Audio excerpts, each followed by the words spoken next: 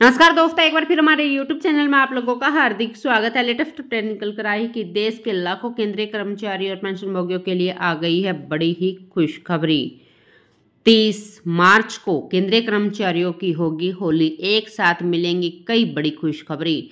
तो दोस्तों, हम आपको सब डिटेल में बताएँगे कि 50 प्रतिशत महँगाई भत्ता बढ़ोतरी के बाद अब केंद्रीय कर्मचारियों को 30 मार्च को केंद्र सरकार की तरफ़ से कौन सी बड़ी खुशखबरी मिलने जा रही है? अगर आप हमारे चैनल पर फ़र्स्ट टाइम विज़िट कर रहे हैं तो चैनल को लाइक कर दीजिए, सब्सक्राइब कर दीजिए, साथ ही साथ वाला आइकन को भी बजा दीजिए ताकि गवर्नमेंट या पेंशन से संबंधित जितने भी न्यूज़ आती हैं, उनकी नोटिफिकेशन आप लोगों के पास तुरंत पहुँच के तो करते हैं वीडियो को स्टार्ट बिना किसी देरी के। दोस्तों कर्मचारियों को होली का तोहफा पहले ही मिल चुका है। केंद्रीय कर्मचारी के महँगाई भत्ते में चार प्रतिशत की बढ़ोतरी हो गई है। जिसके बाद केंद्रीय कर्मचारी का महँगाई भत्ता छियालीस प्रतिशत से बढ़कर पचास प्रतिशत हो गया है।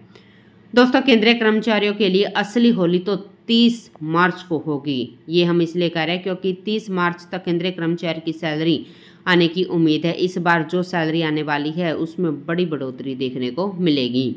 दरअसल इकतीस मार्च को रविवार का दिन है। ऐसे में अनुमान लगाया जा रहा है कि केंद्रीय कर्मचारी की बढ़ी हुई सैलरी 30 मार्च को ही आ जाएगी। हालाँकि केंद्रीय रिज़र्व बैंक ने 31 मार्च को रविवार के दिन भी बैंक खोलने का निर्देश दिया है। आप बता दें कि 31 मार्च चालू वित्त वर्ष आखिरी दिन भी है। यही वजह है कि रिज़र्व बैंक ने बैंकों को खोलने के आदेश दिए हैं।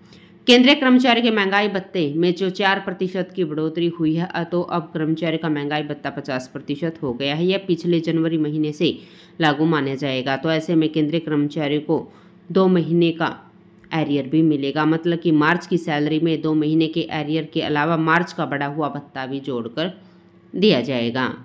केंद्रीय कर्मचारियों को केंद्र सरकार से 50 प्रतिशत महँगाई भत्ता का तोहफा तो मिला ही है। साथ में हाउस रेंट अलाउंस का भी तोहफा मिला है।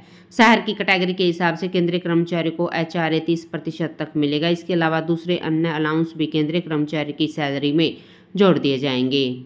आपको बता दें कि 50 प्रतिशत डी की वजह से केंद्रीय कर्मचारियों के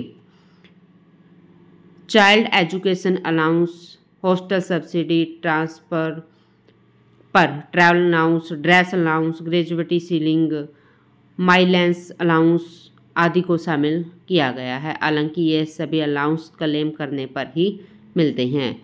तो दोस्तों, आज के लिए इतना ही। मिलते नेक्स्ट वीडियो में। तब तक के लिए जय हिंद, जय भारत।